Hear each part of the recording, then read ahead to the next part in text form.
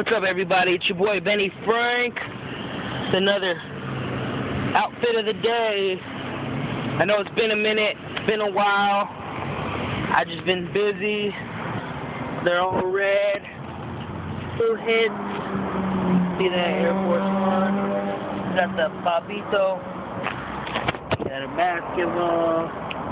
Love. Love. Get that. Can you see that? Can you get that? Can you see that? Can you get that? I got an undefeated sleeve shirt on. Baseball shirt. Just, that's what I got today. Outfit of the day. It's your boy Benny Frank. Here at this Easy Smog. Getting this car with, uh, and then I gotta go to the DMV right across the street right there. So I got some time on my hands to do this for y'all.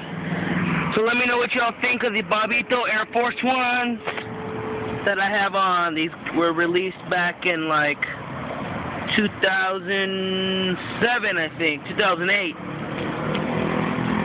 So let me know what you think. Let me know if you got a pair. Alright, it's your boy Benny Frank. I'm out.